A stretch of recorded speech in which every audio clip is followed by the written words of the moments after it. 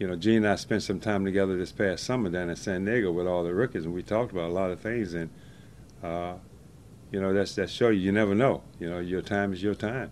Being a father, being a friend, being being a person that you can uh, seek out information, give you good advice, and put you in the right path uh, on the football field and off the football field. Uh, dedicated uh, to this organization, he was dedicated to his players, and he was dedicated to his family. Gene had a lot to prove he had had good quality people around him.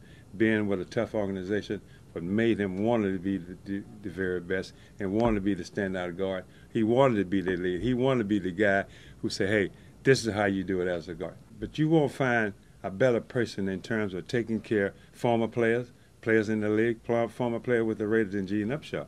Uh, Gene would do do whatever was best for for the players. No question in my mind. Uh, you hear things about all, all, all the older players who who gripe and complain about we should have better this, better that.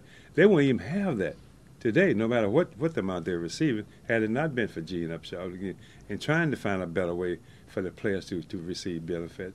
But it's tough to follow in the footsteps of Gene Upshaw because he's such a dynamic, dynamic type person.